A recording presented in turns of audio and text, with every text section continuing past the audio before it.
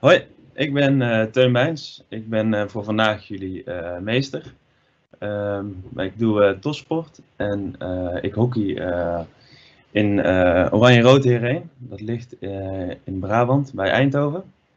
Um, ik ben 21 jaar oud. Um, ik ben geboren eigenlijk in Breda, een klein dorpje daarnaast in Teteringen.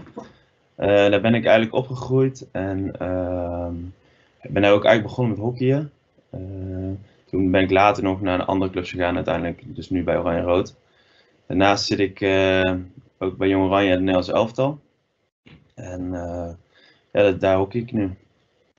wie ben ik? Ehm, ja, ik ben de Steun Bijns. Ehm, ik heb een gezin met twee broertjes en mijn vader en moeder.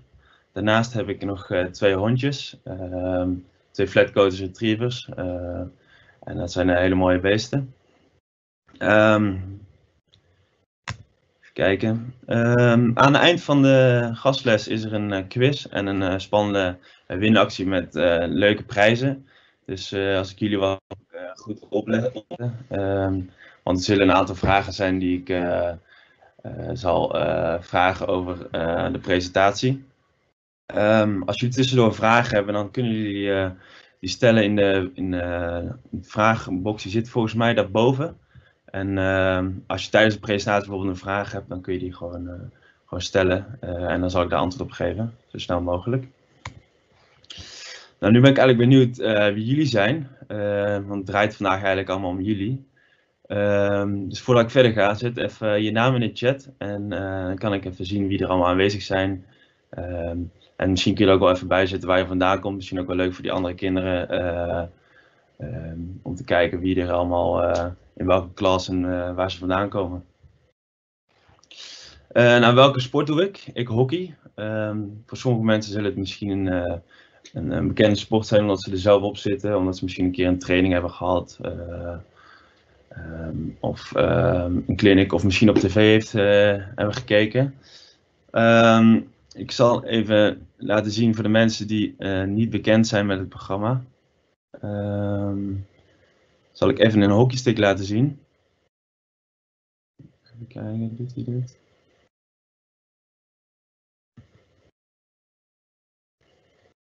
Nou, dit doet hij niet. Um, dan ga ik misschien alvast even wat vragen beantwoorden.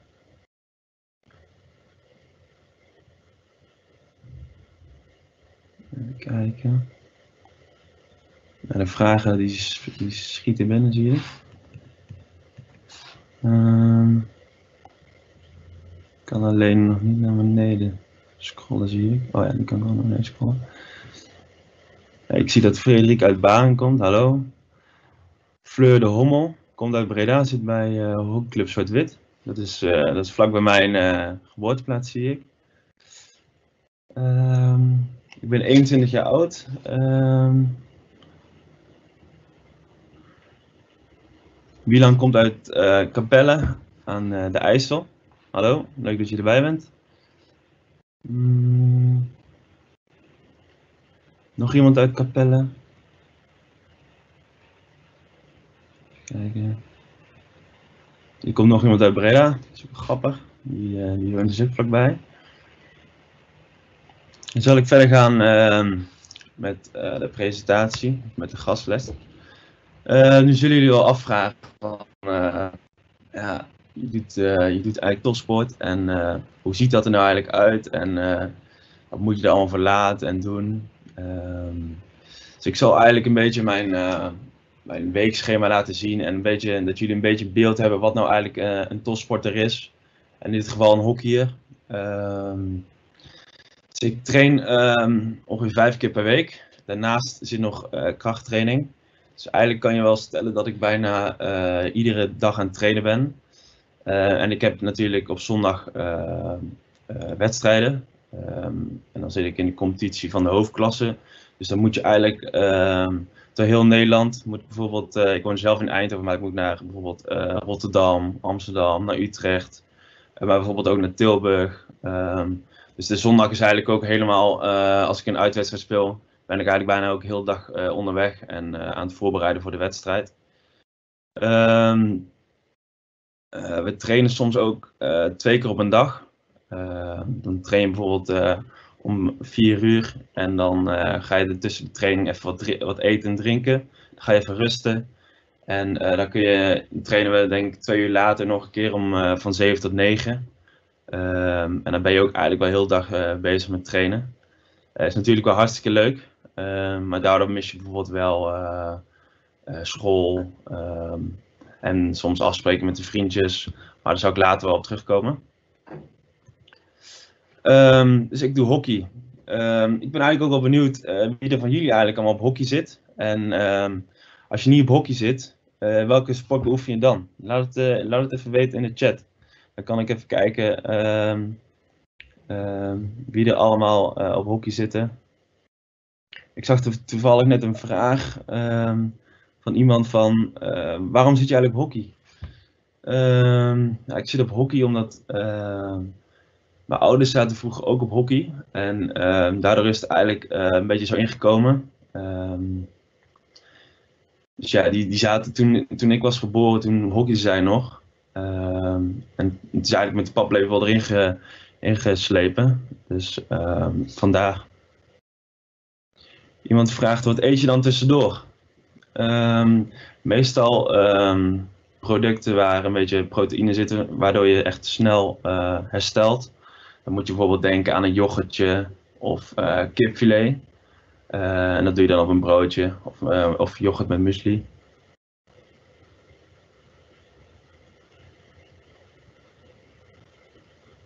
Eens even kijken naar de volgende vragen.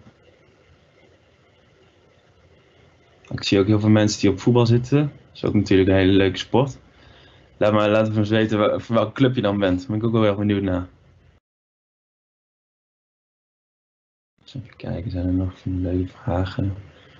Judo, dat is misschien ook wel uh, judo en boksen. Misschien ook wel lachen om te vertellen voordat ik uh, ik ben, begonnen met hockey toen ik uh, vier jaar oud was. Alleen toen, uh, toen zeiden mijn ouders nog wel van uh, misschien leuk om even te kijken ehm, of je misschien ook andere sporten leuk vindt. dus toen ben ik ook gaan judoën.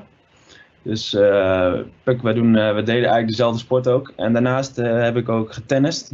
Tennis is supergoed voor je voetenwerk. omdat je heel snel van links naar rechts, naar voren, naar achter moet. Um, dus dat heeft misschien ook wel bijgedragen aan uh, dat ik zo ver ben gekomen.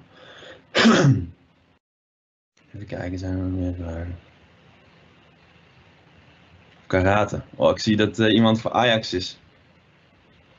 Ik zal eens even verder gaan met de presentatie. Um, ik zal wat vertellen over mijn carrière, want ik zag dat er ook een aantal, uh, aantal vragen waren over van wat heb je bereikt? Heb je, ben al een keer Europees kampioen geworden? dus dat zal ik nu eens even vertellen. Um, in 2002 ben ik dus begonnen met, uh, met hockeyen in mijn uh, geboorteplaats Steteringen, vlakbij Breda, waar, mensen, waar sommige mensen ook vandaan komen, zag ik. Uh, toen ben ik, na een tijdje ben ik naar Push gegaan. Dat is de, eigenlijk, een best, eigenlijk de grootste club in, ehm, in Breda. daar heb ik denk ik vijf jaar gezeten. En toen werd ik gevraagd door Oranje Rood. Dat is een hele goede club uit uit Nederland. Uh, dus dat was wel een hele grote eer. Uh, maar ik was natuurlijk wel erg jong. En ik was er niet zeker of ik, uh, of ik het wel zou halen met de selectie. Ehm, of ik speelminuten zou krijgen. Of ik fysiek wel aankom. Dus het was aan de ene kant ook wel een risico.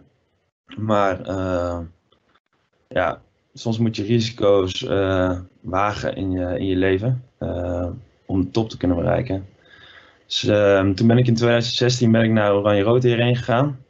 En uh, daar hockey ik nu vier jaar. Uh, in 2012 heb ik uh, eerste jeugdselectie ben ik geselecteerd eigenlijk voor het Nederlands team onder 18. Daarvoor nog onder 16. en daar heb ik uh, mooie toernooien meegemaakt, nieuwe mensen leren kennen. Uh, en in 2019 ben ik uiteindelijk uh, doorgestroomd naar het uh, Nederlandse team. Daar heb ik mijn debuut mogen maken in, in Australië met, met de Pro League. Dat is een, een toernooi, een nieuwe opzet. Ehm, Waarbij je eigenlijk een soort van competitie speelt over heel de wereld. Ehm, en dan vlieg je bijvoorbeeld voor twee weken naar Australië of twee weken naar, naar Argentinië. Ehm, maar bijvoorbeeld ook gewoon wedstrijden in, in Nederland. Ehm, dus ik ben eigenlijk ook benieuwd of, of jullie of de hockeyers uh, naar de Pro League wedstrijden zijn geweest. Daar ben ik wel eigenlijk heel erg benieuwd naar. Nou, omdat ik een aantal toernooien al heb gespeeld natuurlijk, uh, heb ik ook wat prijzen gewonnen. Zo ben ik uh, twee keer ehm, op het Europese kampioenschap onder 18 heb ik zilver gehaald. Eén keer brons op het EK onder 21, dus dat is eigenlijk de leeftijd onder 21. Um, als je te oud bent dan boven de 21, uh, dan, dan, mag je eigenlijk niet meer in het team. Um, dus het werkt eigenlijk een beetje hetzelfde als met de klassen. Um, iedere klas heeft eigenlijk een soort van leeftijdsgroep en daar word je op ingedeeld. Dat geldt eigenlijk ook bij deze jeugd, uh, jeugdteams van het Nederlandse team. Ik ben één keer Europees kampioen geworden. Ik zag dat er een vraag ook al was in het begin van de les uh, of ik een keer Europees kampioen ben geworden. Uh, ik ben dus één keer Europees kampioen geworden. Dat is nu denk ik twee jaar geleden. Um, ik heb nog wel even kijken, een mooi boek. Even kijken.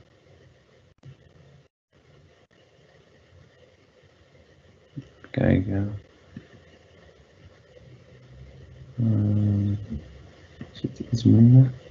Even kijken, dat is dit boek. kijken, doet hij het?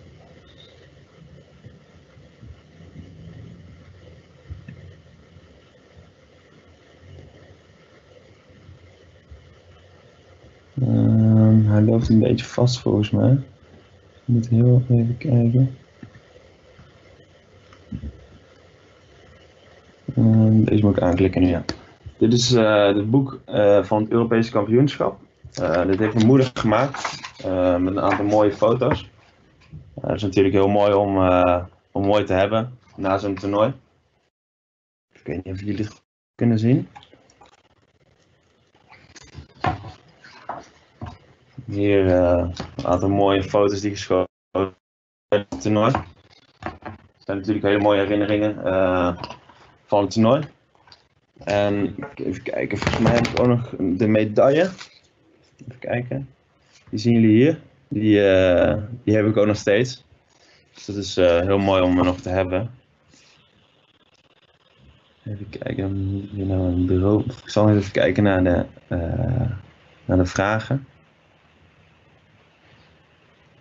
Even kijken of er nog wat mooie vragen zijn. Ik zie dat er heel veel vragen worden ingestuurd, dus dat is mooi. Iemand vraagt hoeveel medailles heb je? Uh, ik heb denk ik een stuk of tien. Uh, zoveel. Uh, iemand vraagt op welke prijs ben je het meest blij op?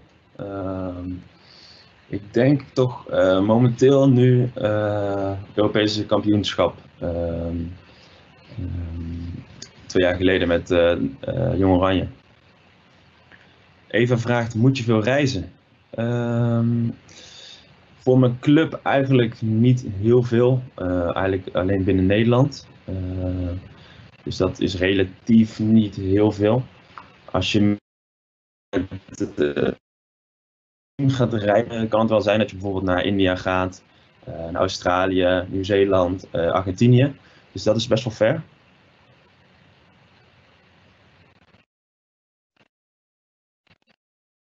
Iemand ehm, Fleur die vraagt, hoe lang zit je al op hockey? Ik zit denk ik nu uh, vanaf mijn vierde, ik ben nu 21. Dat is al best wel lang. Julian vraagt, uh, wat is je beste hockeyvriend? Uh, ja, ik woon met, in Eindhoven met, uh, twee, uh, met één Gijs van Merienboer. dat is denk ik wel mijn beste, beste hockeyvriend. Teun vraagt, uh, van welke sportman, vrouw ben je fan? Uh, ja, daar moet ik even goed nadenken. Uh, ja, ik vind Roger Federer uh, de tennisser. Ik weet niet of er uh, tennissers ook aanwezig zijn, ik denk het wel. die vind ik een hele mooie sporter, doorzetter. En ja, die inspireert mij wel echt. Even kijken.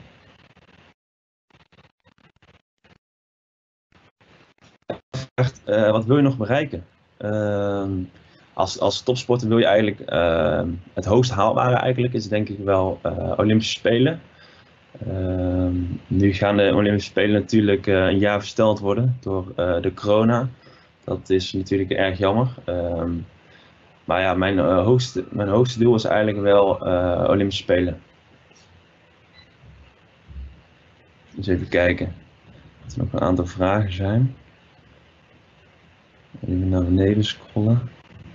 Iemand vraagt hoeveel bekers je hebt gewonnen. Poeh, dat vind ik wel lastig. Dat, zijn er maar denk ik uh, twee, twee of drie. Die krijg je meestal echt alleen als je eerste wordt. Iemand vraagt uh, hoe oud je bent. Uh, ik ben 21 jaar oud. Daan vraagt, ben je al veel landen geweest met, uh, met de hockey? Ik ben ja, ik mag best wel zeggen dat ik uh, best veel landen ben geweest. Ik ben in uh, Australië, Nieuw-Zeeland, uh, Argentinië en best wel veel landen in Europa, zoals, Spanje, België, Duitsland, Ierland, Engeland. dus het is niet mis. Um, Fleur vraagt, wat vond je het mooiste land waar je bent geweest? Um, het mooiste was denk ik uh, Nieuw-Zeeland. Dat heeft een uh, erg mooi uh, landschap, vind ik. Um, en omdat je, da omdat je daar eigenlijk ja, niet, zo, niet zo snel komt eigenlijk, vind ik dat eigenlijk wel het mooiste. maar het, het de mooiste interland die ik heb gespeeld met een Nederlands team was denk ik wel mijn, mijn debuut in Australië. een jaartje geleden. omdat het eigenlijk de eerste cap is die je speelt. Dus eigenlijk de eerste interland met het Nederlands team. Uh, en toen speelde tegen Australië. En Australië is eigenlijk best wel uh, een heel goed team. Die stonden toen uh, ook eerst op de wereldranglijst. Ehm, en toen hebben we uiteindelijk ehm, gewonnen. Dus dat was wel een hele mooie eerste cap. even kijken. Um, Philip vraagt, hoe ben je zo ver gekomen? Daar zal ik eens even met de presentatie uh, verder op ingaan. Want het komt natuurlijk niet vanzelf uh, dat je bij uh, dat je zomaar de top bereikt en dat je eigenlijk eh, bij de top 25 ehm, beste of 30 beste hockeyers van Nederland hoort. Um, daar moet je natuurlijk veel verlaten. bijvoorbeeld, je mist een aantal vrienden uh, je, kan minder, minder afspreken met je vrienden. Uh, vaak gaan de, jeugd van mij gaat nu gewoon afspreken met vrienden, uh, gaan in de avond chillen. Ehm, en dat, dat, dat kan ik niet. Ehm, dus daardoor ga je waarschijnlijk ook, uh, heb, of heb ik zelf ook wat vrienden verloren, omdat ze mij niet echt heel goed begrepen dat ik volledig voor de hokje ging. Ja, wat ik al zei, minder feestjes je moet natuurlijk gewoon keuzes maken. Ehm, je moet goed uit, uitrusten uh, om, om eigenlijk optimaal te kunnen presteren uh, voor de hockey. Uh, laatste tijd moest ik ook veel vakanties missen met de familie, omdat ik thuis moest trainen met het team. Um, dus dat is wel erg jammer. Um, maar natuurlijk komt er ook heel veel, heel veel leuks bij kijken. Um, ja, jullie zitten natuurlijk uh, ook op school. En ik uh, zit momenteel ook op school. Um, alleen door de hockey, omdat ik nu zo hoog zit, uh, mis ik ook best veel van school. dus dat is soms ook wel lastig, want je moet dingen plannen, je moet soms toetsen inhalen, je moet soms wachten, een jaar wachten voordat je weer een toets kan maken. omdat er eigenlijk geen tijd is of, dat ze geen toets meer kunnen maken bij of een, of een extra moment. Um, Daarnaast uh, wordt uh, bij de top, als je de top bereikt, um, zijn, zijn er natuurlijk ook altijd tegenslagen. Zo heb ik uh, een aantal blessures gehad, heb ik bijna elke vinger van mijn hand gebroken. Heb ik ehm, mijn vinger een keer verbrijzelt. Dus dan lig je er denk ik misschien wel een jaar uit. En dan moet je gewoon weer helemaal vanaf opnieuw beginnen, zeg maar. Dus dan moet je echt wel weer flink aan de bak. Conditie is helemaal weg. Die moet je eigenlijk helemaal weer omhoog krikken. Ehm, dus ja, het gaat allemaal niet vanzelf. Um, en je moet er veel voor doen en voor laten. um, ja, om de top te bereiken uh, moet je natuurlijk ook veel talent hebben. Uh, je moet heel hard werken, uh, veel plezier hebben. En natuurlijk zit er ook een beetje geluk bij. Want een coach moet je, of een trainer, die moet je natuurlijk ook gewoon potentie in je zien. Dus dat hij ziet van Ehm, ja, dat hij eigenlijk gewoon ehm, vertrouwen in je heeft. Ehm, en het belangrijkste is misschien wel in deze, dat je heel veel plezier hebt. Als, je, als je iets niet leuk vindt, dan, dan ga je er niet zoveel tijd in stoppen. en ja, ga je uiteindelijk denk ik ook niet beter worden. En ga je ook niet de, de top halen. Dus ik denk dat dat misschien wat het belangrijkste is, dat je er uh, echt plezier in hebt. En het hoeft niet alleen uh, voor hockey te zijn. Um, maar het kan bijvoorbeeld ook een andere sport zijn. Of misschien wil je later wel ehm, een eigen bedrijf beginnen. Je kan, het alleen echt, je kan alleen succesvol worden als je er heel veel plezier in hebt. Dus dat wil ik wel echt aan jullie meegeven. En als je er echt plezier in hebt, dan ga je er ook heel hard voor werken. Um, nu iets, uh, eigenlijk iets veel belangrijkers, want we, zitten natuurlijk nu gewoon in een gastcollege. Uh, dus ik ben eigenlijk wel benieuwd welke vakken jullie nou echt leuk vinden en welke nou echt niet. Als jullie dat even laten weten in reacties, dan kom ik daar zo even op terug. En dan zal ik nu even vertellen welke vakken ik echt leuk vond. Ehm, nou, de vakken die ik echt leuk vond eigenlijk ehm, misschien wel een beetje logisch, maar uh, gymles. Uh, ik vond sport altijd heel leuk. Uh, dan was ik lekker, uh, kon ik een beetje mijn energie kwijt. Ik had vroeger heel veel energie. En ehm, ik vond dat leuk om spelletjes te doen en een beetje de concurrentie aan te gaan met anderen. schrijven vind ik, ehm, vond ik vroeger leuk. eigenlijk iets heel nieuws. Ik denk dat jullie misschien daar nu ook mee bezig zijn. Dus ik hoop dat jullie het ook heel erg leuk vonden. Daarnaast vond ik muziek een leuk vak. Um, ja, omdat ik uh, eigenlijk altijd wel muziek luister, nu nog steeds. En uh, uh, ja, dat vond ik echt wel een leuk vak. En de pauze natuurlijk. Eh, dat je er lekker, lekker kan voetballen. lekker kan voetballen en dat soort dingen. vakken die ik eigenlijk minder leuk vond, ehm, waren eigenlijk de talen. Dat kwam omdat ik dyslexie heb eigenlijk. Uh, heb ik nu al uh, meer mee kunnen leven. Maar het was natuurlijk voor mij erg lastig om um, de vakken zoals Nederlands en Engels. Dat moest ik eigenlijk heel veel voor doen en er kwam eigenlijk niet heel veel resultaat uit. Dus dat vond ik niet zo leuk. Dan zal ik even kijken naar de vakken die jullie, welke vakken jullie allemaal leuk vinden en niet leuk. Eens even kijken. Bo uit Baren zegt uh, rekenen taal echt niet leuk. Uh, Fleur die zegt ik vond gym heel leuk en rekenen. En ik vind muziek ook heel leuk. Dus we hebben eigenlijk wel een beetje hetzelfde. Julie en Eline uit Delft. Die zeggen gym en gymles leuk en rekenen stom. Uh, Gijs en Luc uit Baren zeggen lezen. Nou, dat is goed. Goed dat jullie van lezen houden, daar komen jullie heel ver mee. Heel veel mensen vinden gym leuk. Gym en buitenspelen. Uh, rekenen en grip op lezen. Pleum vraagt op welke school zit je? Ik zit uh, in Tilburg op school op de Fontes, HBO. En ik doe uh, commerciële economie, uh, digital business concepts. Even kijken. Emma zegt, ik vind rekenen het stomst. Even kijken. Sil zegt gymles. Isaac rekenen en game en sporten. Chloe zit, zit op, ook op een andere sport. Olivier spelling en gym. Frederik zegt gym en rekenen. Nou, allemaal leuke dingen natuurlijk. Ehm, we zijn bijna op het einde gekomen van de, van de quiz. Um, dit wordt natuurlijk heel erg leuk. Ehm, de prijs. ik heb een prijs en dat is een Nederlands elftal trainingsshirt. Uh, dus wie dadelijk als eerst uh, de twee vragen goed beantwoordt uh, in de chat, die, die, die maakt, daar moet ik even contact mee opnemen.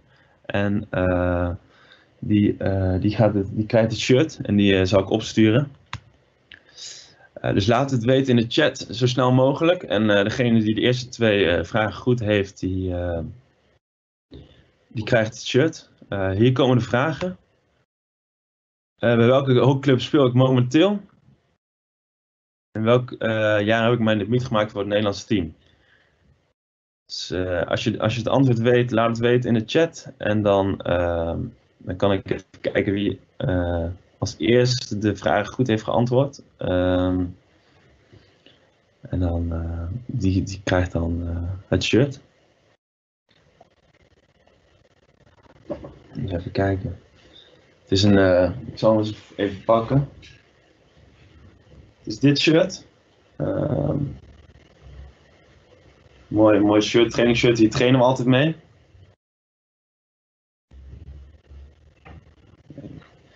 Het is een super fijn, uh, ook een leuk sportje, een sportshirt. Misschien is hij nog iets te groot voor jullie. Um, um, even kijken. Er zijn al heel veel vragen gekomen. even kijken. Heel veel mensen die geven alleen antwoord op, het, op de eerste vraag. Uh, de eerste die het goed heeft is uh, Martino de Leeuw. Uh, als Martino de Leeuw, um, even kijken, dan kan ik, um, ja, ik weet de naam, dus die kan ik wel opzoeken. Uh, en die zal ik dan even contacten. Daarnaast is er nog een, uh, een hele andere mooie prijs te winnen. En dat is een winactie. Je, kun, je kan mijn Osaka hockeystick van seizoen 2019-2020 winnen. Ehm, dan moet je mijn Instagram account volgen en ik kies een winnaar en dan neem ik contact met je op via Instagram. mijn Instagram is Teun Bijns. En je kan dan deze stick winnen van Osaka. Super, super mooie stick. Dus ik hoop dat jullie genoten hebben van de les. Zijn er nog vragen? je mag echt alles vragen. Ehm, even kijken. iemand vraagt wat waren de antwoorden. Um, de eerste vraag was, het antwoord was oranje-rood en in 2019.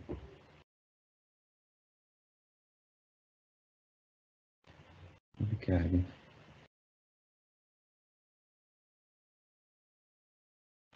Even de naam opschrijven die het shirt heeft gewonnen. Even kijken. Tina de Leeuw.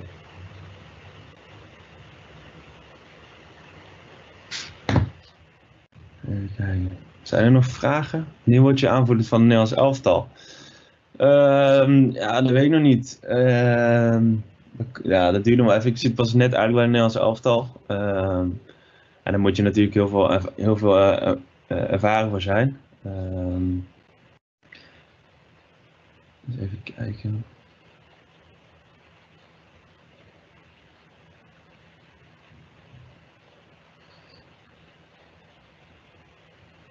Iemand vraagt, uh, een leuke vraag, uh, welke positie uh, ik speel centraal achterin.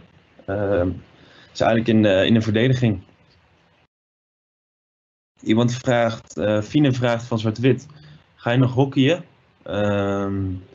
Ja, dat wordt lastig, uh, omdat door de corona ja, eigenlijk, mag je eigenlijk niet hockeyen. Dus ehm, ik, zit eigenlijk, ik ren eigenlijk vooral buiten.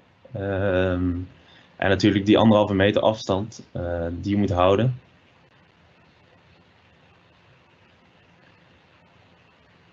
Kijken of er nog meer mooie vragen zijn. Femke vraagt, heb je een vriendin? Nee, dat heb ik niet. Fleur die vraagt, hoe heet je op Insta? Ik heet uh, op Insta uh, Teun Bijns.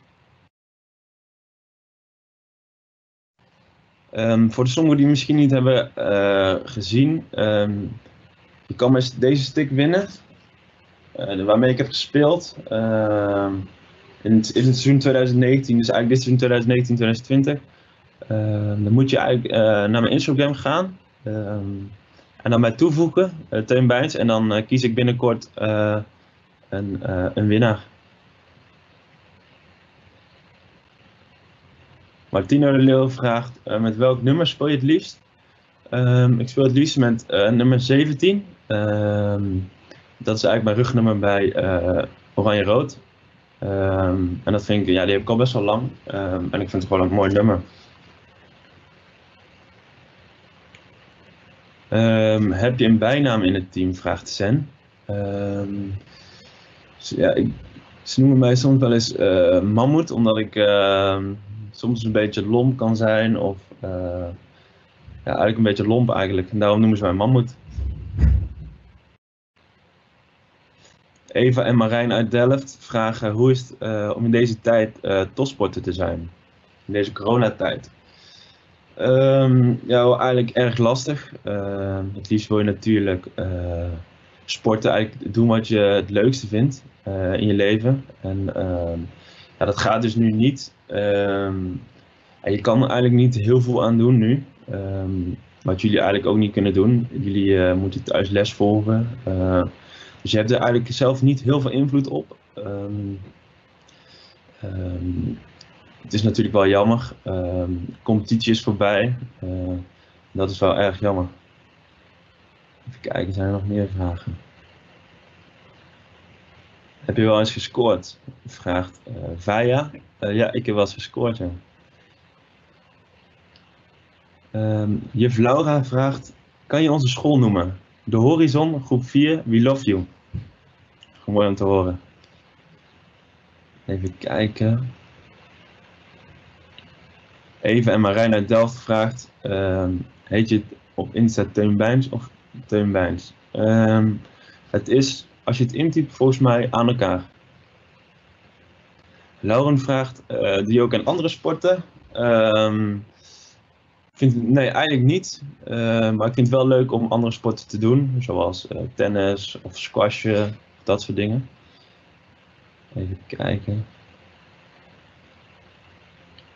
Um, eens even kijken, zijn er nog leuke vragen? Wil, je, wil jij keeper zijn van mijn zus? Uh, wil graag in het oranje en hockey zijn met meisjes 8-1. Nou, dan kunnen we misschien wel eens kijken, ja. Takenbroer zegt, jouw stick heb ik ook in het klein. Oh, leuk. Heb je ook van Osaka? Minke uit Breda vraagt, uh, hoeveel staan jullie uh, in de competitie? Uh, de competitie is nu voorbij en wij staan nu zesde. Uh, dan min vraagt, ben je boos als je hebt verloren? Uh, soms wel, maar eigenlijk meestal meer uh, teleurgesteld. Even kijken, zijn er nog meer leuke vragen? Wat is je mooiste spelsituatie in, op het veld? Zegt Sira. Mijn mooiste spelsituatie is eigenlijk ehm, ja, als we een doelpunt scoren, denk ik, uh, met heel het team. Dus dat we eigenlijk met heel het team uh, een doelpunt hebben gemaakt. Dus, omdat hockey eigenlijk natuurlijk ook een teamsport is, vind je dat denk ik wel het leukste. Even kijken. Um, Eva Marijn zegt bedankt dat je onze vraag hebt beantwoord. Geen dank, vind ik natuurlijk alleen maar helemaal leuk. Um, Vaya Baas uh, zegt, uh, kom je een keer uh, gymles geven op de bij bijenkorf? Um, dat kunnen we misschien wel een keertje doen, ja. Eens even kijken.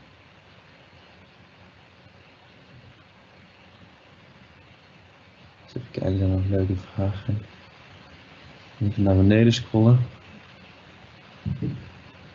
Um, ik ga nog twee vragen beantwoorden. Uh, Curijn vraagt, kan je jong leren? Uh, nee, dat kan ik niet.